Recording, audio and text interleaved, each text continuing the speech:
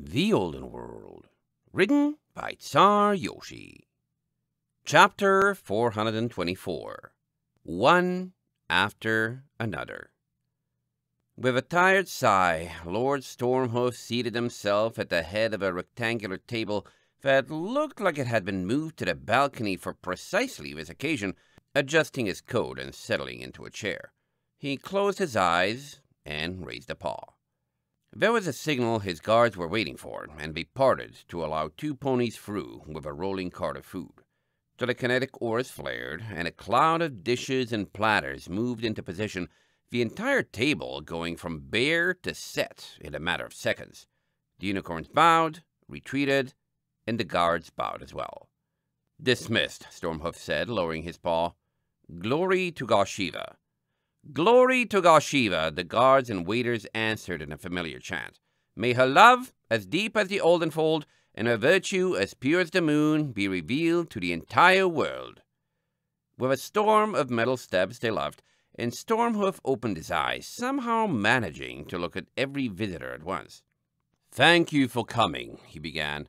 I'm sure you've noticed that Kiro isn't here. Shinespark took a deep breath, putting her forehoofs on the table and ignoring the food. With all due respect, we... Mm, she stopped, hesitating. Permission to speak frankly? Stormhoof inclined his head. I already know what you are thinking. Yesterday's proceedings were chaotic and unprofessional, and a poor demonstration on our empire's part before the visiting governance of another nation during times of strife. You are the daughter of Sarusian leadership and Admiral Valet was in a position of military power. But you were brought before that circus, as well as toyed with by our wayward High Prince. On behalf of the relations between our nations, I offer a formal apology for my court's behavior and place myself at your disposal to answer whatever questions about our state of affairs might ease your concerns. Valet sniffed at the food and raised an eyebrow. You don't say. That's cool. Still feel like I've been hit by a cart. But, she yawned, don't really know what you're talking about with being unprofessional. That stuff was way more under control than Ironridge.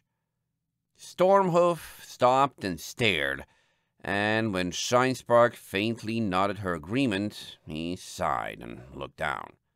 That is disheartening. Nobody stopped Valet as she gingerly loaded up on food, and Shinespark served herself as well, the others beginning to follow suit. It's a lot more than disheartening, Sharpie grumbled as Bright Coil levitated buttered toast onto her plate. Ironridge was absolutely demeaning, and this was too. Her eyes blazed. Kiro was going out of his way to act suspiciously at that council. What general in their right mind would commit to a military maneuver on the word of someone like that? I understand your skepticism, Sharpie, Stormhoof said, meeting her eyes, and it would not have happened without the independent corroboration of the passengers aboard the ship you flew in on, most notably yourself. But there is deep-rooted dysfunction in my province. But there is deep-rooted dysfunction in my province, and it is a symptom of woes all across the empire stemming from an incident several years ago. How familiar are all of you with the manner in which houses are succeeded? I attempted to explain it on several occasions, Gerardo announced, primly twirling a utensil. However, perhaps a refresher would be of use? Hmm, Stormhoof sighed. The empire is governed first by Gashiva, and second by an empress living in the capital province of Grandval. The position is passed along her bloodline from princess to princess, and when there are any princes, they move to begin their own line in any province where the ruling house no longer has a male sphinx of their own. In short, once a province lacks a ruling lord and there is a high prince to begin anew, their family is retired to a manor and the province changes paws. Right now, there are no houses who lack lords, and Gazelle will remain in his position until that changes, likely through the extinction of the Isvaldi line. His eyes cut a path straight down the table, bisecting it into two perfect halves. The birth of a sphinx is extremely rare to mixed parents, and female sphinxes are slow to conceive. Because sibling relationships are outlawed under Gashiva, houses must look to each other for daughters to marry their sons and ensure their bloodlines continue. This is a system that favors those wealthy enough to pay high dowries in exchange for prospective daughters' pause in marriages. It, in theory, redistributes wealth, but in practice has led to a divide between those with the resources to make pacts and those without. Most of the Empire's houses are one to two generations old, but the Stormhoof line has endured far longer than that.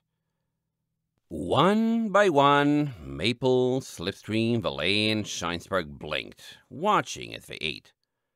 My subjects are set in their ways, Stormhoof continued. Our prosperity and stability has brought them to forget the transient nature of Sphinx dynasties. Garshiva is immortal, the core of the empire that endures throughout the ages. Our bloodlines were not meant to be. And yet, he took a deep breath. Six years ago, the Empress and her husband were assassinated in Varsadel, leaving behind their two children Gazelle and Gwendolen. The crown princess was barely old enough to speak and cannot legally ascend her throne until she takes a husband in marriage. Gazelle has been old enough for several years to take a throne, but cannot rule Granbell. And Garshiva leaves us to our own devices, causing the situation to deteriorate. The war room you beheld was two dozen generals wearing the mannerisms of old with none of the virtue, believing they're the pinnacle of the empire with none to put them in their place, led by a mercenary charlatan and egged on by a wayward prince who is frustrated by the wrongs of the world and denied the easiest path to fixing them, all because he was born a male and cannot take Granbell's throne.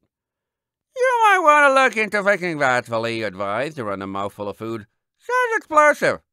That's right, Maple whispered, glancing to Gerardo. I remember someone saying something about the Emperor and Empress being dead, but didn't connect those with that Sphinx's parents. He was the one who was heckling during the meeting, wasn't he? He was, Stormhoof said. Gazelle is struggling to find his role in the world. He is bright, ambitious, charismatic, cunning, and far more dangerous than many of the province lords give him credit for. His motivations and ideals are genuine, but he learns about the world through treating it as a plaything. I try to look out for him as much as possible and guide him where I can, but my family is a poor substitute for his own. It is my hope that one day he will grow into a leader who can break up the balance of power in the Empire, ensuring it continues changing as Garshiva designed. Uh, Valet glanced away. Yeah, that sounds rough. I sort of figured he'd learned that himself was all he needed to get his way. Sorry for interrupting, because I'm not very important. Uh, Slipstream smiled apologetically. But you're the ruler here, right? If there are ponies or griffins in your cabinet who aren't behaving, why not fire them and get someone better? Several reasons, Stormhoof replied. There's a limited supply of top talent, and many of my most trustworthy officers have more important things to do than attend hearings we can already guess will end poorly. Additionally, most of the better ones tended towards those who didn't speak. Makes sense. Shinespark nodded. Stormhoof coughed. Third, do not underestimate just how rare a truly talented, loyal administrator can be. And finally, he reached into his coat, withdrawing a familiar glowing stone and offering it across the table. Nobody questioned the absence of this from the council, but my most trusted were in a secret meeting held simultaneously in another room. We've held the conversation we need with Ironridge. You may have this back. Yes! Valet snatched it eagerly, kissing the stone and stowing it beneath her hat. Finally! Stormhoof gave a single small laugh. This is my province's situation. Is there anything else I can answer for you? Brightcoil lifted a hoof. This isn't a question, but if you're looking for trustworthy professional ponies... No! Sharpie silenced her with a gentle wing. I'm sorry, but I'm not looking for work in an environment like this. Stormhoof made a soft noise in the back of his throat, but nodded and didn't say anything. Totally random question here, Valet muttered around a muffle. But why does your fort have so many psychopaths that gun bats? Can't you make that illegal or something? Stormhoof's policy is no policy, the Sphinx said, eyes glinting. And for that, I make no apologies. It is difficult enough to change the ways of a society as entrenched as this one, But you should know that the previous Empress's husband was my younger brother, and the attack in which they perished was carried out by Sarusian agents. I am content to let my people decide their own ways beyond the walls of my tower, and I consider that a mercy. Valet's eyes widened, and she pulled slightly back. Okay, wrong question. Uh, Uh, sweating slightly, she glanced around for a way to change the subject. Can you tell us about Isvaldi? Maple jumped in, trying to help. We've gotten an invitation from Wallace Whitewing to visit, but uh, are trying to be careful what we get into. Yes. Stormhoof folded his paws again. Isvaldi is a landlocked province north of Grandbel, the seat of the Empire's power. It is mostly rural and known for farming, providing over a quarter of the Empire's food. Its lord is a griffin, Percival Isvaldi, who rules while he waits for his grandfather to pass away and Gazelle to assume his throne. Percival's government is focused exclusively on internal affairs, and he sacrifices any sort of presence on the High Council or social standing among the houses to spend on public works projects instead. He's in a unique position to get away with it, as the other houses are actively led by sphinxes, and he couldn't make much progress pushing a national agenda if he tried.